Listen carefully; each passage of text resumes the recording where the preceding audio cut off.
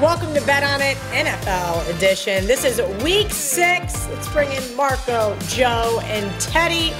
What's up, guys? As you can tell, I am not in my office. And unfortunately, Joe Raineri is in his. So if we lose power today, uh, we're just going to do the show without him. Uh, but Godspeed to all of you there in Florida. I hope you guys make it out of this storm safely. Mm-hmm. Gentlemen, let's get right into these prime time games because we have to unpack on today's show. Marco D'Angelo, you are not up first. In fact, it is going to be Joe Raineri. San Francisco, Thursday night like football. This. They are three and a half point favorites at, well, my lone survivor loser last week, Seattle, 47 and a half. Joe, did you get to catch any of that game versus the Giants? Because Marco basically all but nailed that uh, blocked field goal there at the end. Yeah, no, it was uh, it was interesting, wasn't it? And uh, you know, here we were thinking during the week that Geno Smith was going to be the problem, and well, he he was to a certain degree, uh, but so is that Seattle uh, defense, and that is really the question here. We've seen this total in this game uh, get boosted up 47 and a half originally, uh, now 49s. And I agree with the move to the over with these two teams. Not a great spot, obviously, uh, for Seattle right now, as they are kind of licking their wounds, both uh, on the defensive side, still got some key injuries there, but also uh, of course, offensively here, where they get to be a little one dimensional, especially if they're playing from behind, which is exactly what I think they're going to be doing in this game. They're going to have to go very pass heavy, and they can certainly compete against this 49ers uh, team that has not quite looked like the powerhouse that everyone expected them to be here. This is kind of unusual territory for them to be sitting, what, two and three at this particular point uh, losing games that they don't often lose, but it's early in the season here. We know the talent is there. Uh, they should get a little bit healthier here over the next couple of weeks. And I do think uh, they can do exactly what we saw Jared Goff do to this defense. And everyone made a big deal about the head coach. Uh, coming over as the from the DC from Baltimore, he was going to be this great defensive minded guy.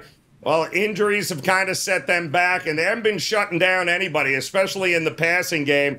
If there was ever a game for Brock Purdy to get right, I think throwing the ball, and for this 49ers offense to get right, I think this is the game, Cal. Uh, we don't often look at a whole lot of overs uh, in these uh, Thursday night games, these primetime games, but yeah, I like the 49ers in Seattle to go up and uh, up and over here. Seattle's defense has been bad. I think both of these teams are going to look to uh, to throw the ball on the secondaries, and when it's all said and done, I agree with the original move up and over the total, and that's the way I'd look at this.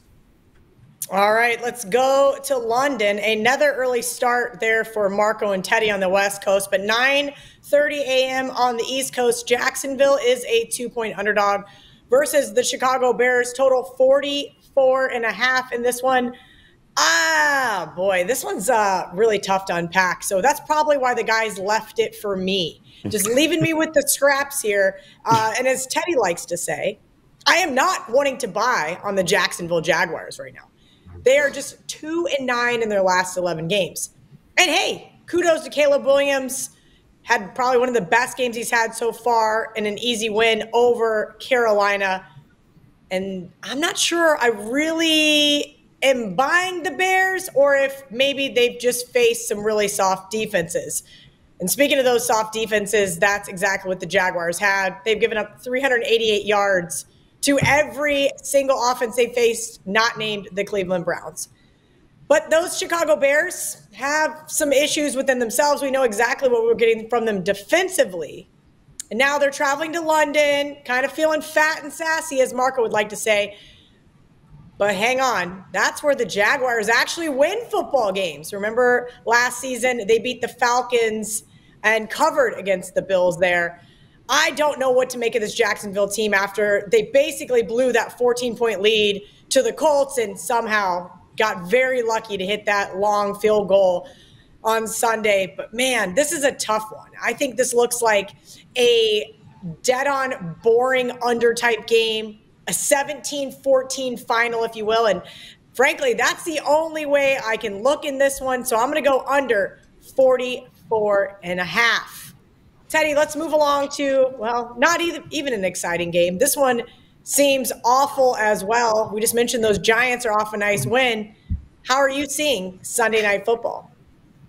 Well, I mean, last week when we didn't think Seattle and the Giants was going to be the most exciting game, and it turned out to be a legit thriller and a heck of a game to watch. I wouldn't be surprised at all if this week's Sunday night game between the Bengals and the Giants is every bit as exciting and every bit as down to the wire. This is a Cincinnati team. Look, they're one and four. All right. They're tied, I think, uh, ranked number 25th in defensive yards per play allowed and they're laying more than a field goal on the road. uh, not with my money, they're not. You know, Joe Burrow said the truth after the game last week. Quote, we're not a championship level team right now. We're not. I like to think we'll come back and improve throughout the season to get to that point, but right now we are not, and we have to get better. I know exactly how we're one and four. We're not making plays at the end of the game to go and win it. Definitely not in disbelief. I know exactly what's happening. That's not a vote of confidence. Of course, this offense worked last week. The defense hasn't worked. All right. So we're talking about laying more than a field goal on the road with a one and four team that has a bad defense. That's not really my MO necessarily. And of course, even when they win, since he's struggling to win by margin, you know, last year, a third of their games were wins by a field goal or less. You know, a third of their wins uh, came by a field goal or less. So it's not like they've consistently putting teams away. Meanwhile, G Men, they're coming off the best offensive game of the season, like by far. Remember that first drive, they get down to the goal line, have a 102 fumble yard, uh, 102 yard fumble return touchdown. That could have demoralized them. Instead, they drove down the field, tied the game at 7 7. Didn't matter without Nabers, didn't matter without Singletary. This offense is finding their way. Tyrone Tracy can make plays, Darius Slayton can make plays.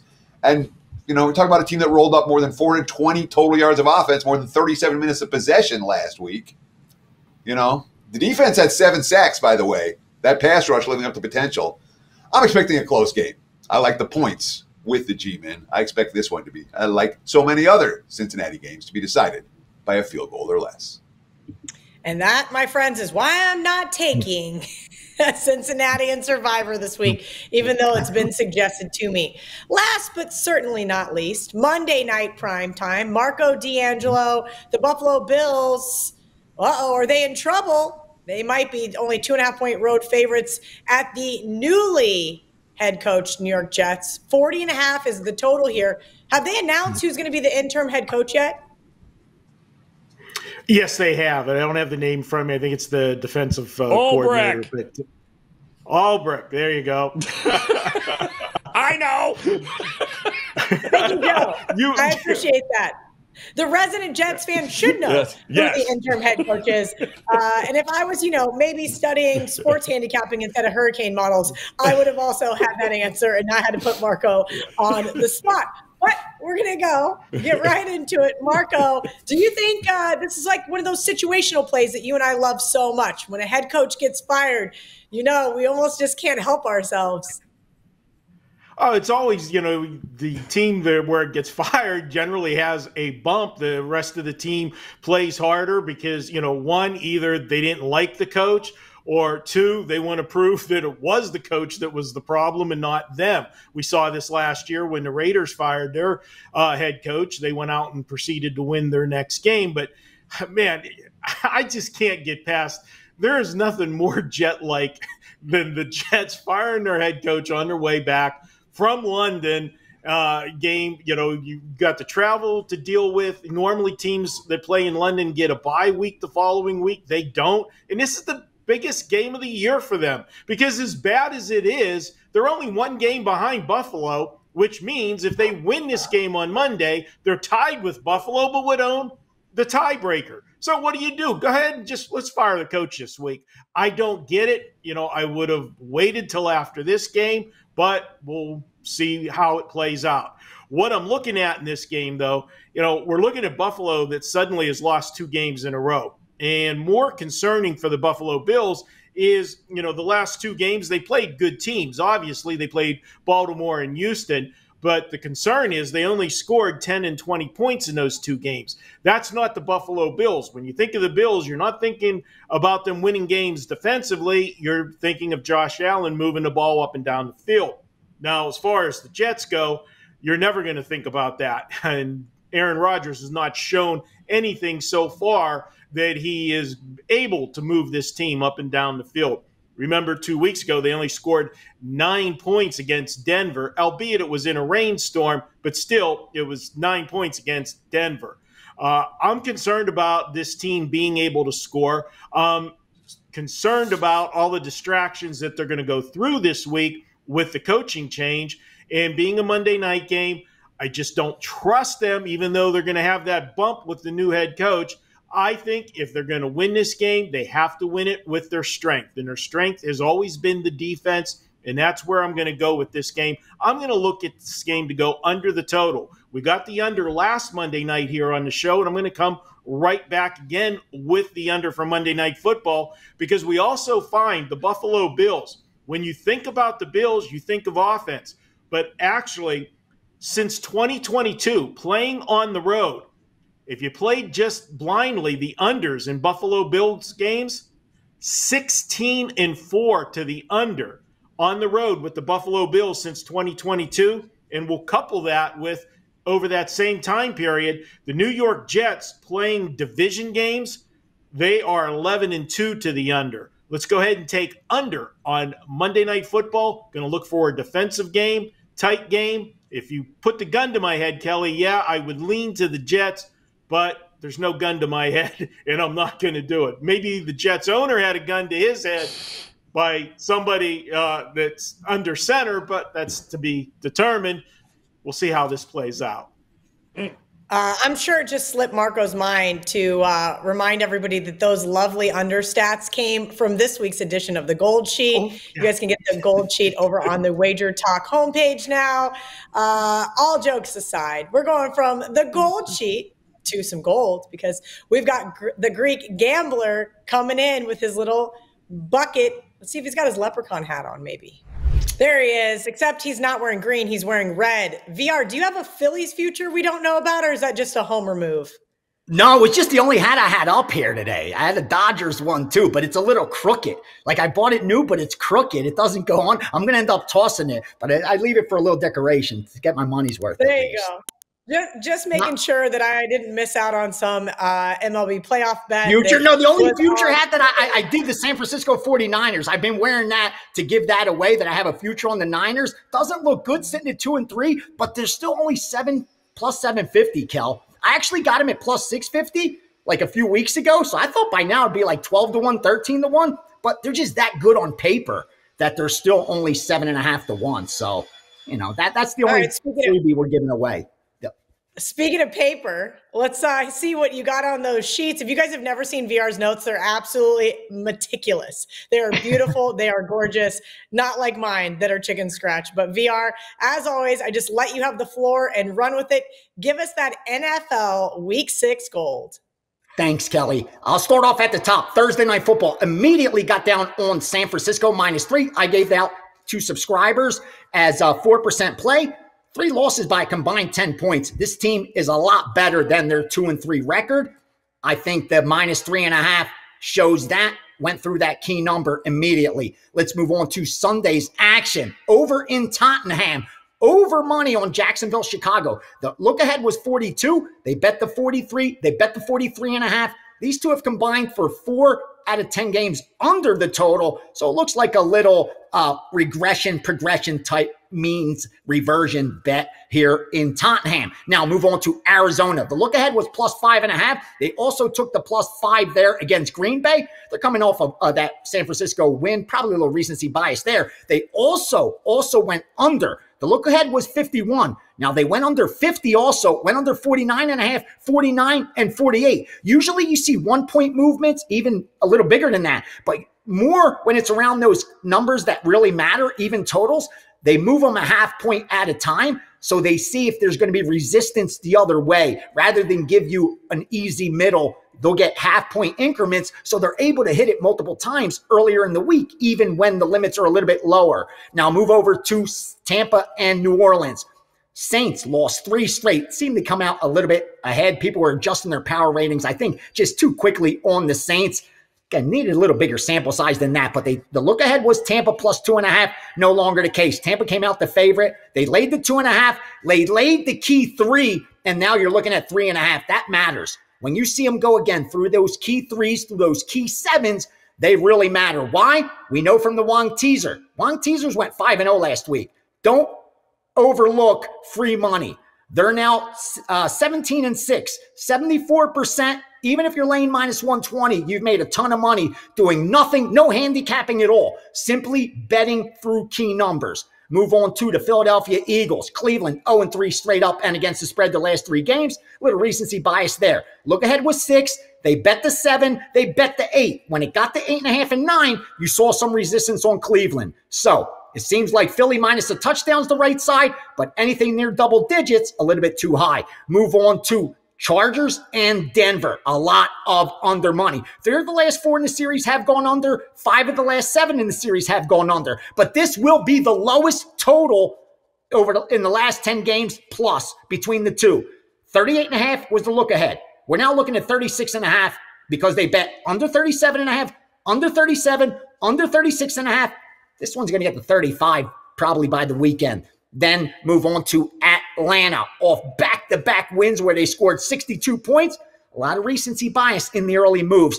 This one got up to four and a half. They bet it again. Got up to five and a half. They bet it again. But it's at six and a half that you saw that Carolina resistance. No surprise. You go from three to six, six and a half in an NFL game, unless you could truly quantify those three, three and a half point adjustments. Again, there's a lot of injury concerns in the NFL. But more times than not, those get overvalued. And finally, Sunday night football. No surprise here. The New York football giants get steamed. Why? They're coming off a big game where they won as nine point dogs or seven point dogs, something like that, on the road in Seattle. But, but pay attention because they took the five and a half. That was the look ahead. They took the five. Now we're at Cincy minus three and a half even money. They don't want to go to three. That's why. Instead of going to three, they're adding VIG at the three and a half, seeing if there's going to be any takers rather than move to that key three. Pay attention to those numbers. If they go to the three key three, that's a telling sign that the Giants just may be the side. So uh, lines give us a lot of uh, information, what's going on behind the scenes. And again, whether you follow or fade, I just hope you cash them, baby, and do some damage. And of course, Sunday, late, late, late, late, late information with Kelly. And uh, we could go over some quick Wong teasers on Sunday. That's where I think they offer the most value because that's when the line's usually most efficient. At least that's what they tell us. The strongest number is the closing line. You need efficient numbers if you're betting teasers because you want the game to fall near the number. That's how you cash your teaser. Keep Wonging, baby. It's free money. Yeah, we'll get into those teasers for the NFL on Sunday. WagerTalk's last call noon Eastern, VR comes in and brings you all that late gold. VR, before I let you go, tell us what you've got going on over at wagertalk.com. Oh yeah, I'm going. I'm going. I think for my fourth or fifth straight NFL five percent plays. I'm zeroing in on some of those biggest advantages. Lowered my volume a little bit, and it's working out well. MMA, of course, I got a UFC card already fired a 4% play. I think we gave that out for $5. We'll have a full card by Saturday, up over 150 units in UFC, 17% ROIs. We're printing money. Again, if you're going to bet MMA, you're going to want to know what I'm betting. You're sharp enough to know that. And uh, got some college football action for Saturday. We're just all everything baseball, soccer, tennis. It doesn't matter. If there's an inefficient number, we're going to look to bet it, Kelly. So uh, jump on over. This is a great time to, to jump on board and uh, ride the steam train. All right, make sure you guys are following VR on TikTok, Instagram, and of course X at Greek underscore gambler. Next up, we're gonna get Teddy's just the tip on which team we need to sell. Joe, is he high enough? I'm not sure he is. Marco's trap game, and no, by the way, I may have a square barking dog for all of you. The good news for my survivor picks this week the deli is not open. Uh, maybe if my partners would have listened to that segment last week. Okay, I'm done. I'm done. I'm done. I'm done. I'm done. We got the Chiefs home on Monday night. Kelly, I never felt so bad winning a sandwich game last week. I was texting you during the game. Truly am sorry, but it, it is what it is. And going to disappoint everybody. We don't have a sandwich this week in the NFL. We almost had a sandwich, and I'll tell you why I pumped the brakes on it. The sandwich spot was going to be New England. It was a perfect spot for a sandwich game until we found out we're going to have Drake Maye as starting quarterback this week. So I just didn't want to use the sandwich game with a rookie quarterback making his first start. So there you have a little segue from what would have been the sandwich had uh, they didn't name uh, Drake Maye the starter. So we pivot and we go to the next best play. And I do like this play a lot. This is the trap game. In the trap is Atlanta. They're going to fall into the trap because I don't know how this team cannot look past Carolina this week. I know it's a division game, but I'm sorry, people. Look at the last four games that Atlanta has played. You can't get more four more marquee games than they had. They played four weeks back on Monday Night Football against Philadelphia, and they come back the end of the game, pull out the miracle win. Then the and that was a 22-21 win. Then three weeks ago, another primetime game. They play the Chiefs on Sunday Night Football. They did everything but win that game 22 to 17. We all know there was another questionable call in that game that saved the Chiefs. Uh, two weeks ago, they play the Saints, huge division game. They needed that game. And what do they do? They're trailing the entire game until the final gun when they hit a long field goal to win it at the buzzer. And then last week, back on prime time, Thursday night football game, another thriller, miracle comeback. Uh, horrible clock management down the stretch uh, by Tampa Bay lets them go back down the field, tie it at the end of regulation, and win it and cover with a touchdown in overtime. How do you you know, look at Carolina coming off a 36 to 10 beatdown and be serious with them. I can't do it. This is a trap for them. And you're asking the Atlanta Falcons, a team that since 2022 is just 4 and 13 on the road, straight up. 4 and 13. So not only we asking them to do something they don't do often, win on the road, we're asking them to do it by a margin. I'm not doing it. I know Carolina's ugly. You guys gave me a lot of grief before the game on the uh, Giants play last week. That's fine. Just come back like you guys did after the game and talk smack if you win or give credit where it's due. And you guys did. Kudos to you guys. I appreciate that. I'm going with an ugly one, Kelly. Are you following along? Carolina plus the points. And oh, by the way, is a divisional home dog as ugly as Carolina has been? Since 2022, four and one against the spread. Divisional home dog. Give me Carolina. Oh, I know, Marco, because I read the gold sheet, uh, and that's why I don't like division dogs on or division favorites, excuse me, on the road in Survivor. I hate it. I hate it. I hate it. I have rules against these things. And, and even when Ralph provided me with some of the math, I still am going to hold strong. Nah, somebody who's not probably holding strong. Joe, how you doing over there? Uh, you need a little bit of, you know, something to help you out, get you through. yeah. Well, as this hurricane comes uh, barreling through here, uh, Kel, yes, I uh, I could use a little help. Uh, might as well start baking the brownies before the power goes out. Anyway, let's talk here, if we can't, uh, Cal, about a uh, game that, uh, shockingly enough, uh, to me, is not high enough for me anyway. And we're going to go over to London. And you had talked about this game earlier, like the full game under. I'm going to look at it a little differently. I don't think I've had a first half play yet because Marco has pretty much uh, ruined that for us last year. So uh, this is my first first half play this year. And we're going to look at the over, Cal, 21 and a half. Now, this full game total opened up at 42 and a half, and it's already been bet up to 44, 44 and a half. And listen, I've been watching, and nobody has been a bigger critic of Caleb Williams than I have. Uh, not a big believer in him. I was an even less believer in Shane Waldron, the offensive coordinator for the Chicago Bears here. But I can tell you, getting Keenan Allen back in the lineup there has absolutely been beneficial to this team.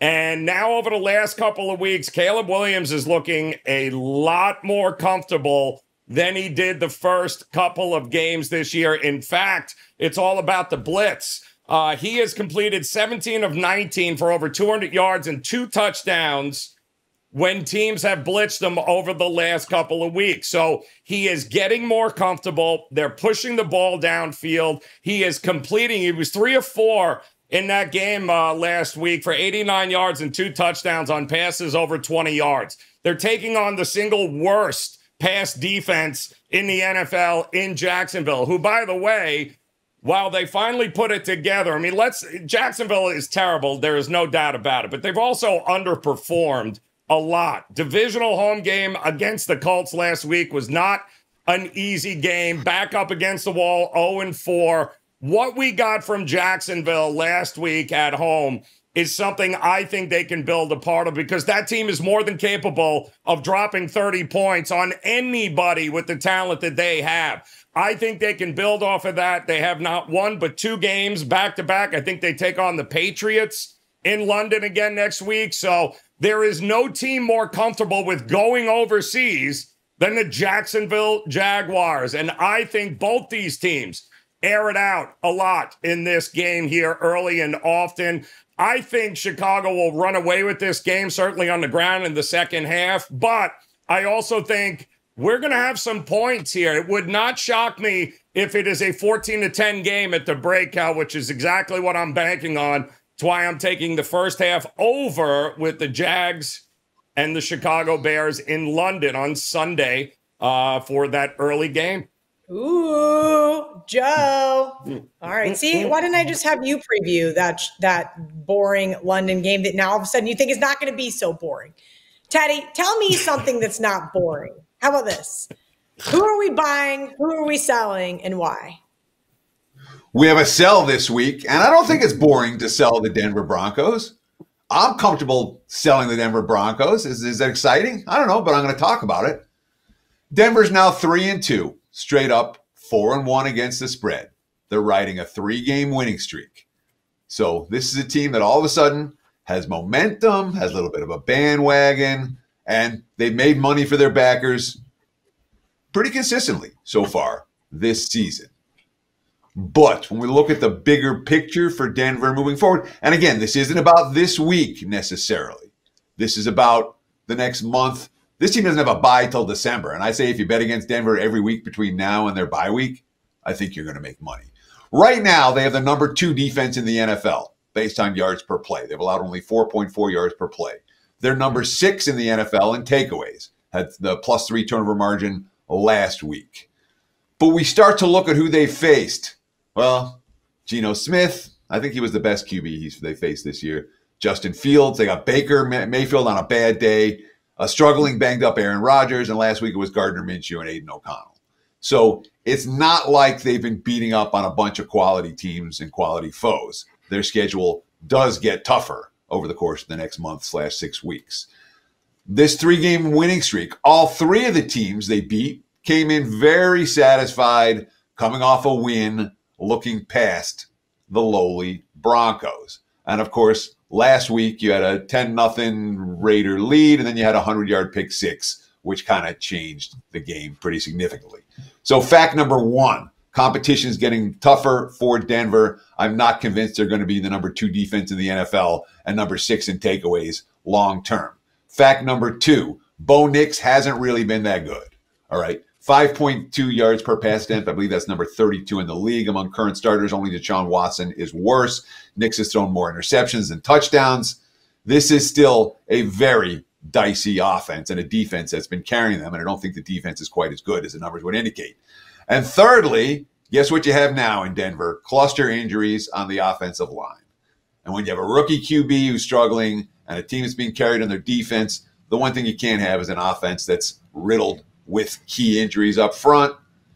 I'm selling Denver moving forward next month, next six weeks. I think he'll make, make more money betting against the Broncos than betting on them.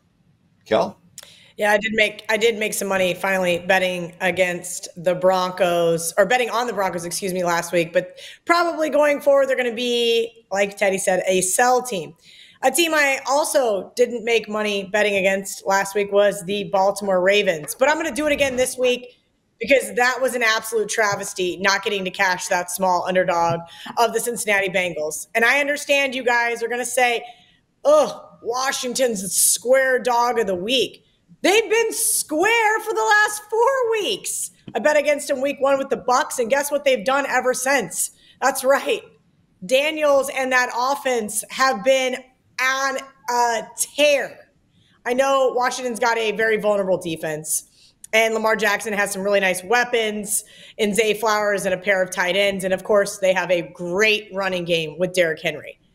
But I'm not sure the Ravens are as good as advertised, right?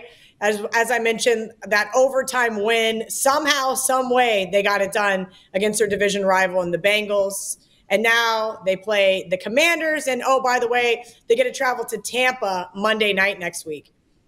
I think they're overlooking this Washington team. I think everybody, in fact, is overlooking this Washington team who looks really, really good. I think six and a half points is entirely too many. And it would not shock me in the slightest to see Washington actually win this football game. So be careful, all of you wanting to use Baltimore there in Survivor. Give me the Washington Commanders plus six and a half as my barking dog for NFL week six. Oh my goodness. Ah, what are we going to do with Okay. Anyway, so I guess he's taking this proctologist uh, thing a little serious, guys. So we got the lab coat, we got the stethoscope, but we still have AirPods in. So I don't know if it really works correctly. Well, the, the AirPods work better than this cheap thing on, on Amazon, Kelly. Uh, yes, the, the, the doctor will see you now. Uh, let's diagnose these props and uh, prescribe a winner. I promise that'll be the last doctor pun for the rest of the segment. So yeah, I am a man of my word. Uh, you got to reward the comment section for coming up with fantastic nicknames. So uh, yes, we're going all in on this. Listen, I'm for it. Uh, own it. I mean, if I had to be anything to do with, well, looking at people's butts. I wouldn't want to tell people that was my job title either. Anyway, so more on the prop side of things. You know, maybe the prop prince wasn't so bad at all, Andy. Maybe it wasn't so bad at all. Could have got you a little crown and like a nice velour suit. No, no, I, I, I like this. Uh, both of the ologists make a lot of money, Kelly. So that's that's what they have in common. So uh, let's let's try and cash. Uh, my my pick last week was pretty bad on the show. Uh, so let's try and, and regroup. We were two and zero oh on client yeah, plays though, so that was the bright side. Wait, hold on. Let me go off on the proptologist really quick. So I had Aaron Rodgers in fantasy, and I had picked Kirk Cousins up because Anthony Richardson was hurt. And in hindsight, I probably should have picked up Joe Flacco and kept Kirk Cousins. But Andy thought under one and a half touchdown passes. I looked at the game. I kind of liked the Bucs. I had the Bucs in a bunch of teasers. I said, "All right, I'm going to leave Kirk Cousins on my bench." I would have easily told you to to to pick up Joe Flacco. I didn't know that was an option, but uh, the, that was one of our official client plays. Kelly was Flacco over his uh, passing yard. Yeah, when Flacco's in, uh, take the over. The guy just chucks the ball all over the place. All right, let's do a winner for this week. Let's go back to uh, Chuba Hubbard. Let's take his rushing yards over 63 and a half. Kelly, since Andy Dalton has taken over, Chuba Hubbard has started three games. He's rushed 52 times for 315 yards for the season with running backs with 60 plus carries. Only Derrick Henry and Saquon Barkley are averaging more yards per carry than Chuba Hubbard. Jonathan Brooks is still hurt. I, the Panthers have no reason to rush this guy back. So as long as Hubbard is performing, I don't see why they would uh, take him off the field. He's the only one getting carries. Miles Sanders only had two carries last week, and this is a Falcons team they give up 148 yards rushing per game. That is fourth worst in the NFL. Every single starting running back to face the Falcons has had over 70 yards rushing.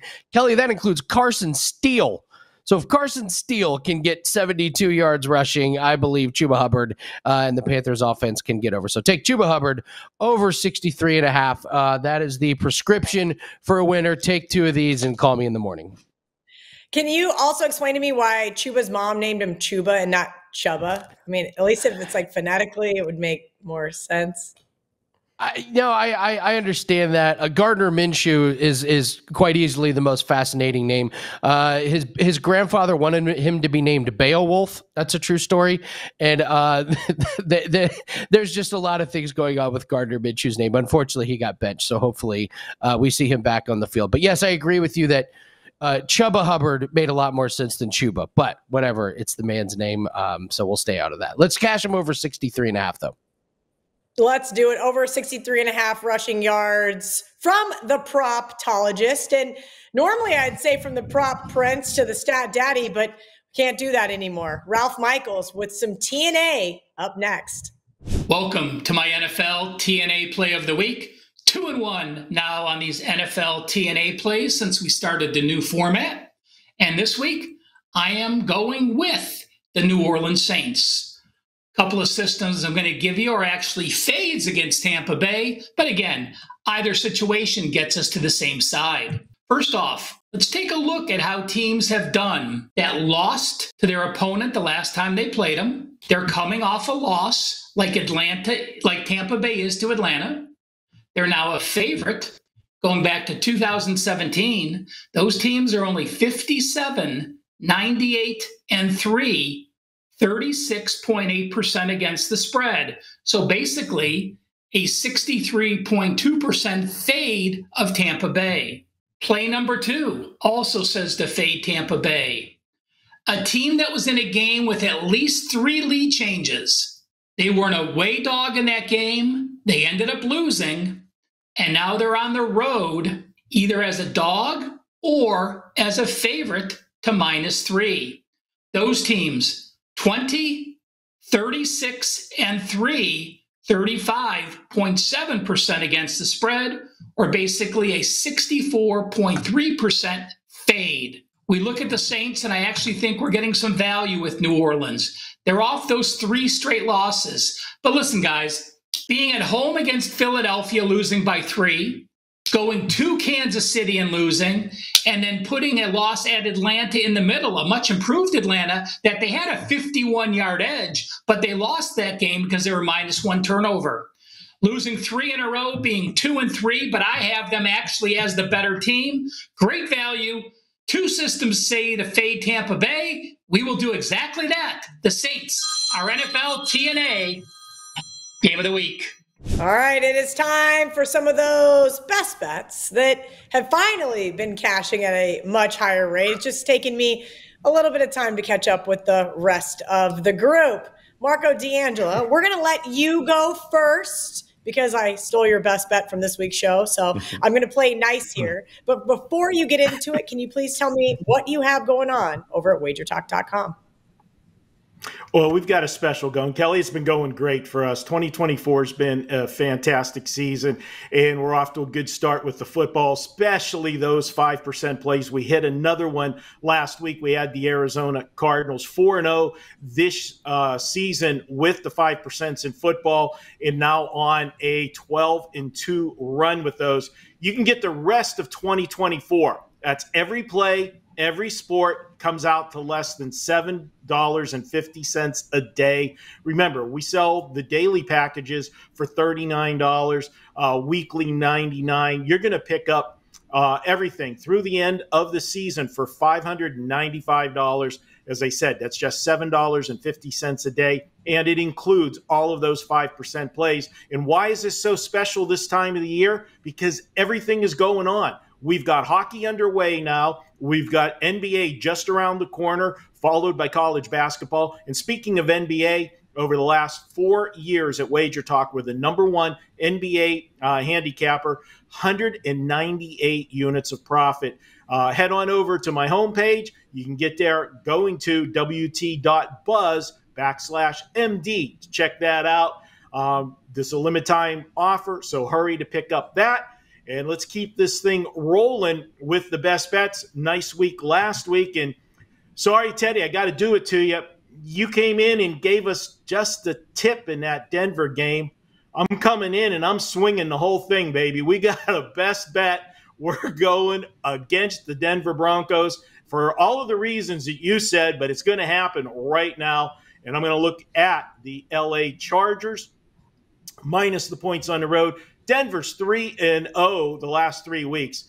But let's be honest about it. Look at those 3 wins. They did beat Tampa Bay. Yeah, that looks like a quality win. Tampa was playing well. Well, pump the brakes. They caught Tampa Bay the week after their big revenge playoff uh, win. Remember, they went to Detroit, played Detroit in week two.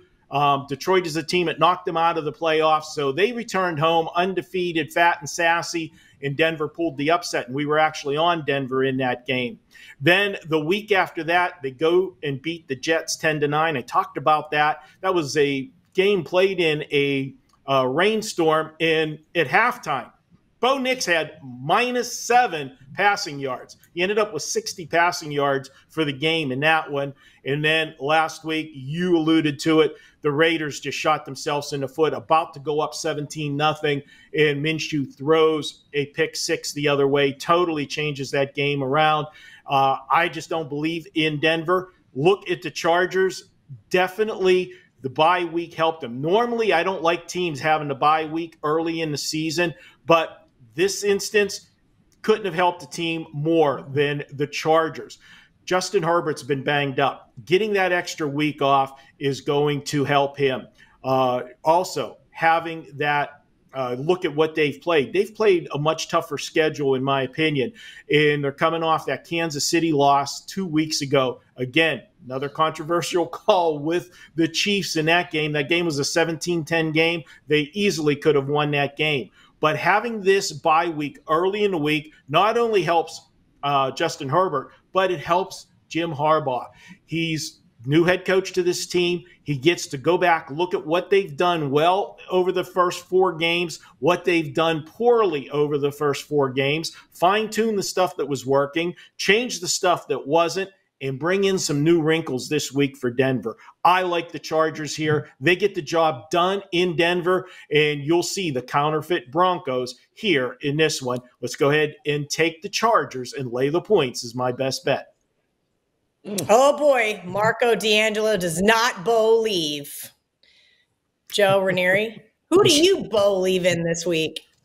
Well, I'm gonna uh, mix it up here, Colin. I'm gonna actually go with uh, with your game that you talked about with your dog there in Washington, and I'm gonna look at the total, and I am gonna look for an over here. And while uh, totals of 50 or more this year haven't exactly uh, been overfest by any stretch of the imagination, I do feel like this is a game in which these two teams should have no problem getting us up and over the 51 and a half. Why? Well, Ravens games are averaging 57 points this year. That's first in the league. Oh, Washington, those games are averaging 54. That would be third in the league. You've got Baltimore, who's good against the run, but the second worst pass defense in the NFL, going up against a rookie quarterback that seems to have no problem throwing the ball over 10 yards down the field here. Also, pretty quick scoring offense that we have seen from Washington as of late. They have scored 34 or more three times in a row. Lamar Jackson, by the way, has scored 28 or more three games in a row, while the defense has allowed now 25 or more points in four of their last five games. Both these teams have combined to go eight and two to the over this season. I don't like the secondary of the Ravens. I absolutely think Washington is going to be able to take advantage, just like Joe Burrow and company did in that last game and drop some points. However, I also think the Commanders, D, who are we kidding? You're not stopping Lamar Jackson, Derrick Henry, Zay Flowers, and company either. Uh, Baltimore has done a great job of absolutely destroying secondaries through the air out of that big, heavy personnel they run. Looks like a run, feels like a run. Oh, look at that. It's not. It's a bomb. It's a pass. This Washington defense, I think, is in for a long afternoon, but I definitely think that Washington is going to get theirs a lot uh, against this secondary of Baltimore. They're not all going to go under when they're lined 50 or more, Cal. At some point, it's going to even out. And I think this is the perfect game for us to get up and over a total that's 50 or more points. That's what I'm looking at for a best bet this week. Yep, I lean towards the over in that one as well, Joe. Teddy, let's get to you now for your best bet. But first, tell me what you have going on over at wagertalk.com.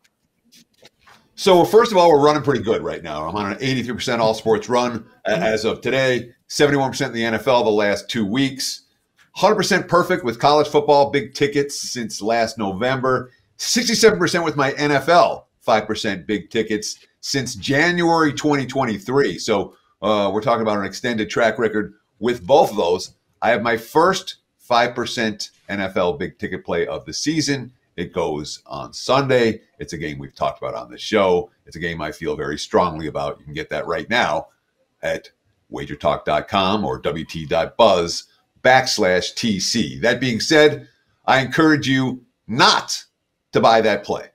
Why? We've got an incredible deal. I mean, I know I got fans out there. I know that people hate me and some people like me. If you want to get on board with Teddy Covers, this is the package to do it. All right. It's a full year, all access, every play included, no bait and switch. It's 99 bucks a month. right? You save more than $800 off the normal price. Just use promo code Teddy365 at checkout to take advantage of this offer. Again, 365 days, every play, every day. This is the package, you know, and it's pricey. I get it. It's $1,100. But if you want to get on board and really see what I can do for you and your bankroll, this is the best opportunity to do so. Offer expires after Monday Night Football. Take advantage now. Again, promo code Teddy365. Let's talk about Tampa Bay and New Orleans. I released the Bucs on the money line to my clients earlier in the week before Derek Carr was officially announced as out. At minus three and a half for Tampa, I'd rather lay the points than the money line. So this play is not a mirror of the money line play that I gave out to the clients. That being said, with Carr officially ruled out, boy, I want no part of New Orleans right now. All right. Remember that 2 0 start? That's a long way in the rearview mirror. Their stats from that start are still making their full season stats look very reasonable. Point differential as well. They look like a team. Oh, they should be a winning team. Look at the statistical profiles. Oh, look at New Orleans. They look great. They've lost three in a row now. They've been held under two touchdowns on offense and two of the three losses. They're riddled with key injuries along the offensive line. Their front seven on defense has significant injury issues as well. Their quarterback is hurt. I'll take my chances betting against Jake Haener or Spencer Rattler. You know, uh, no problem. They're playing on a short week. Remember, they played Monday night, a physical game Monday night. They have a Thursday night game on deck. It's a miserable scheduling spot for a banged up team with an embattled head coach and no quarterback in the midst of a three game skid. Tampa's on the other end of the spectrum. All right. They played last Thursday. They have extra time to repair. They played like crap last Thursday with missed tackles, defensive mistakes, clock management issues.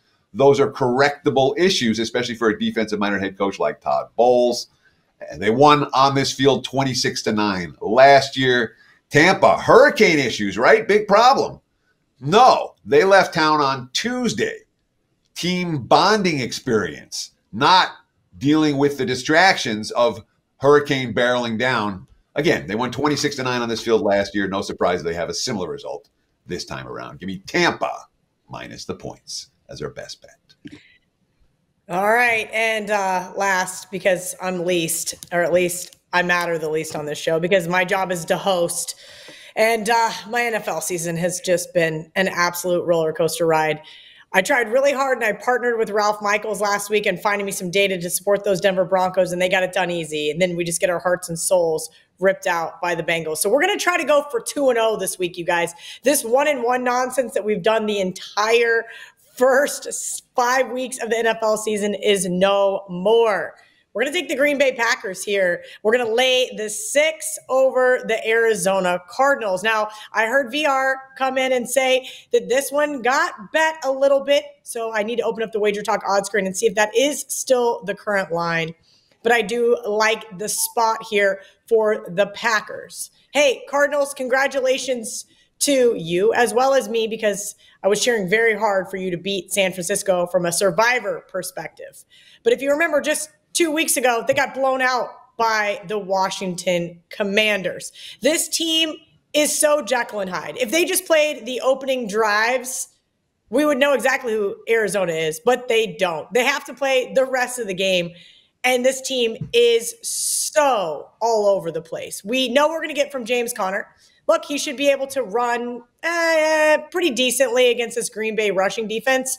But the rest of them, oh boy, that secondary, Xavier McKinney, he's already got five interceptions on the season. I understand Kyler Murray is not the interception king, but he better be watching out for McKinney lurking there in that backfield. Looks like Jordan Love's finally healthy, even though he threw that egregious pick six in the end zone instead of just taking the sack for the safety. Regardless, Green Bay got the job done. And I think traveling back home, they will get this job done too. Lay it with the Packers is my best bet for NFL week six. All right, boys. I think that's all we got uh, for the NFL show. Any, any last final words, comments, concerns? Okay. We're going to get you guys out of here. If you guys have any comments or concerns, you hate Marco's trap game, you love that Teddy is selling the Broncos, you think that I'm super square for playing the Washington football, you know, that that that team those ones, or you don't like something that Joe Raineri said about your favorite team, you drop it in the comments because that helps the algorithm and that makes Johnny Detroit happy. And that makes, well, me happy. So thank you for all of you guys hanging out with us each and every week from Andy, VR, Ralph, Marco, Teddy, and Joe. Of course, me. We love you guys. Until next week, let's bet on it.